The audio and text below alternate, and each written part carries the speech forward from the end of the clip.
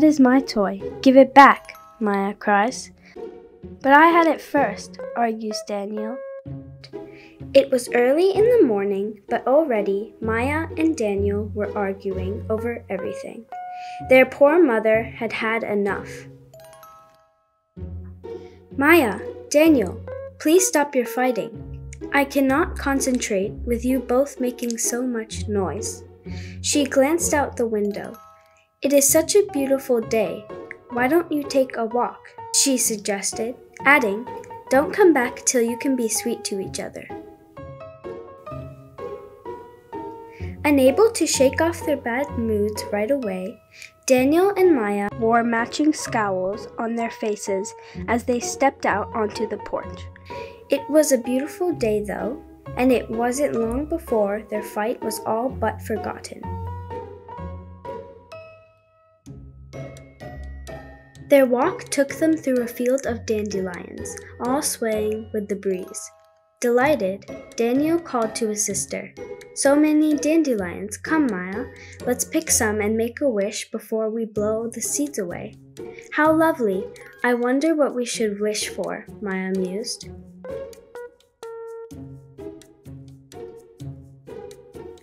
Daniel looked around, thoughtfully tapping his index finger against his lips as he searched for the perfect wish.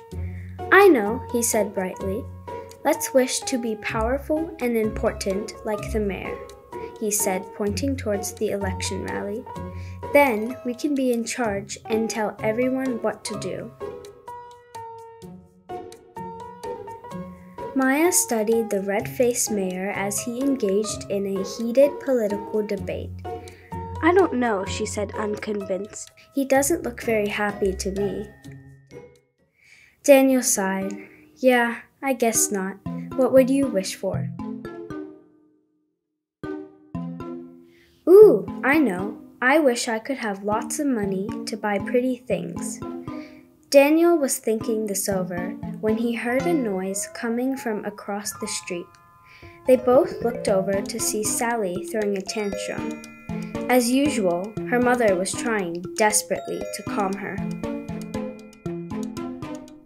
But darling, I already bought you three dresses. I don't care, I want that one. Sally has so many pretty clothes and toys, and she is never satisfied. If things could make people happy, she should be the happiest child in the village instead of the crankiest.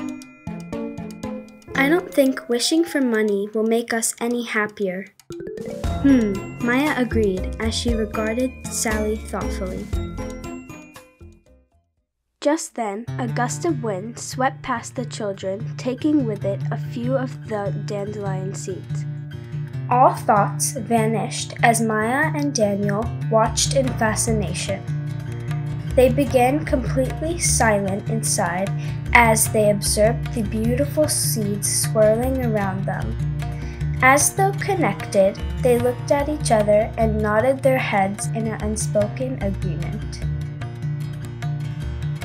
Together, they closed their eyes, took a deep breath, and blew their dandelions.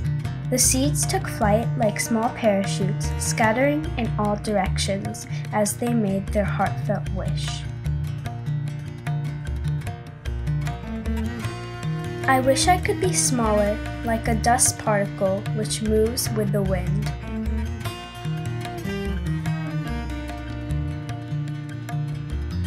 It goes everywhere. It can go sit on the head of a king. Or it can go and fall at the feet of someone.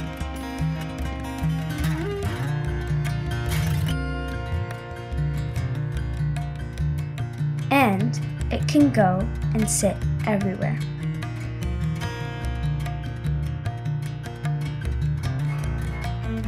But I want to be a particle of dust that is fragrant.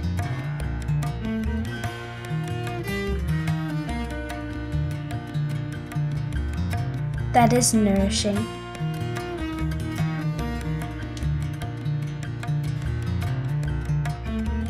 that is enlightening.